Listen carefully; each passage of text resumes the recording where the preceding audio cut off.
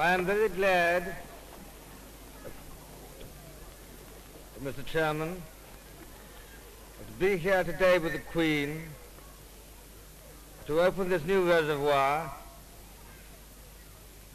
and thank you for your kind words of welcome.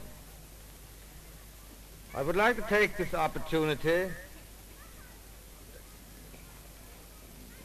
as one who lives in London and to pay my sincere tribute to the magnificent work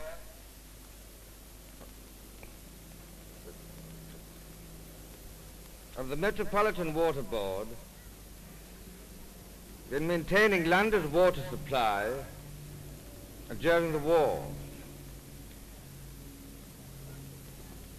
And no matter what damage the enemy did to your vast and intricate system, none of my people in London was ever deprived of the supply of pure water which is so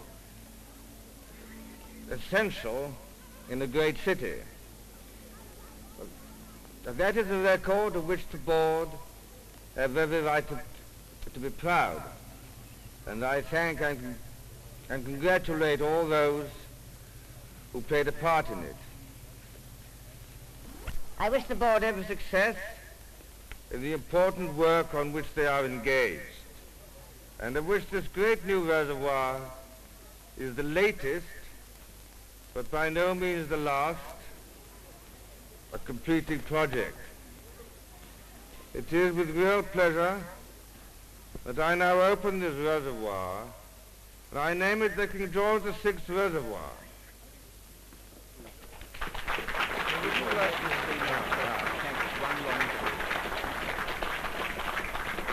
Side.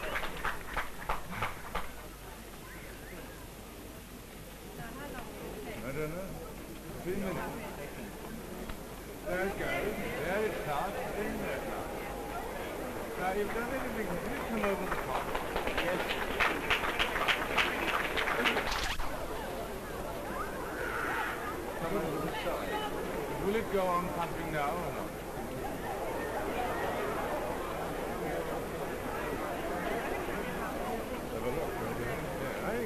dirty water, look. Now, where are you getting it from? This actually comes from Well, then. Well, then.